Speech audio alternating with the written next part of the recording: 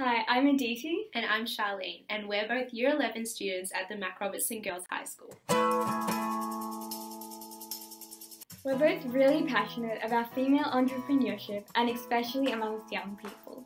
And we were fortunate enough to have participated in the Girls Invent program last year, which we took our first prize for. The workshop really helped us develop a new set of skills and taught us the foundations of developing a product as well as a pitch deck.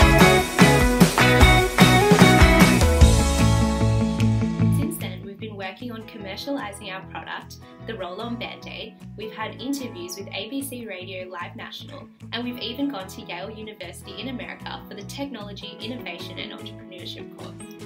The course allowed us to attend lectures held by Yale faculty, seminars run by Yale students, and meet like minded individuals from across the world. The skills we developed at Yale were truly amazing, and we have Girls Invent to thank for giving us the opportunity to go there. Before Girls Invent, we were unsure about what university courses we wanted to do, let alone what career path we wanted to go down.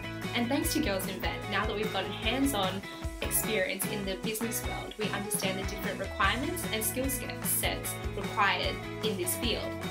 Meeting influential women throughout the program, including our mentor Vicky Papakrishna, has given us the motivation to further develop our product. We also met so many insp inspirational people along the way from both in Melbourne and from around the world. We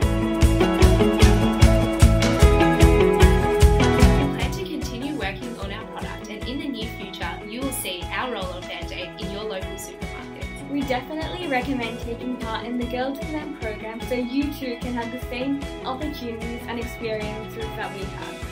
So if you ever have any questions or difficulties, feel free to reach out to us because we're here to help you.